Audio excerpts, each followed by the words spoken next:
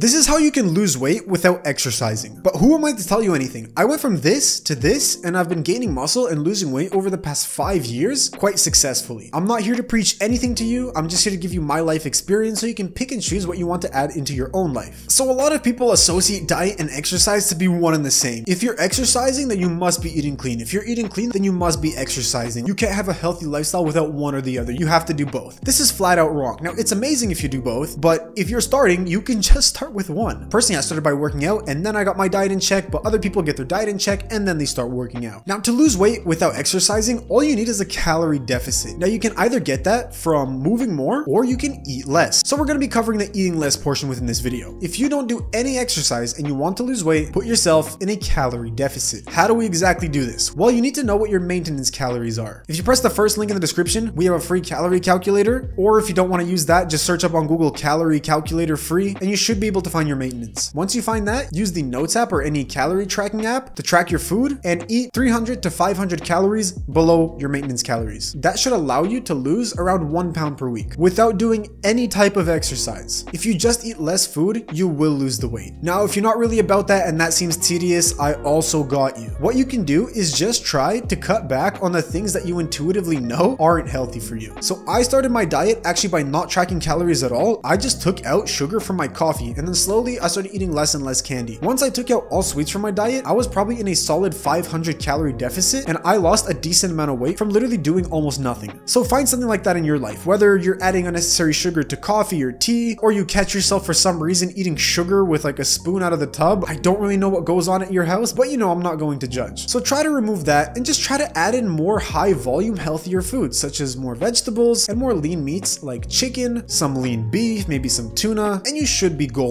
Now let's cover exercise just a little bit. You don't actually have to go to the gym to lose weight. That's absolute nonsense. If you just have decent daily activity, like you have an active job, you walk 10,000 steps per day, that's enough for any type of cardio that you will ever need for weight loss. I honestly don't even recommend that people do cardio if they walk more than 10,000 steps per day. Anything above that is just a cherry on top, and it might actually be deleterious to you. If you can slightly increase your physical activity, that will supplement for a lot of the help that exercise will give you. So I know regurgitated a lot, but maybe park away from work a little bit further, get in some extra steps, maybe go on more walks. Anything that comes to mind just to get yourself moving a little bit more will help you out tremendously. And the last thing I want to cover is why exercise is important for weight loss. You don't need to exercise to lose weight whatsoever. Weight loss is just an energy balance. If you have less energy, you will lose the weight. If you have more, you will gain it. But what strength training primarily does, which is what you do in the gym or when you do calisthenics or other bodyweight exercises, is it allows you to build and retain muscle. If you ever put yourself in a caloric deficit, your muscle starts atrophying. They will get smaller. And a lot of people come to realize that when they lose a lot of weight, that they just look skinny fat because they never built a muscular frame behind there. So I'd recommend to hit the gym at least three times a week. And if you don't want to do that, you can do bodyweight exercises. This is how I started and I built a pretty decent physique by just doing exercises at home. I had one set of dumbbells and I made it work. So I'm definitely confident that you can make it work as well. It only took me about 30 minutes per day. If you have no idea where to start with your diet, press the first link in the description. We will calculate your maintenance calories and make you a completely free diet plan almost instantly. If I shared anything of value, please consider subscribing. It'd help us out a lot. And don't forget to stay savvy with your diet.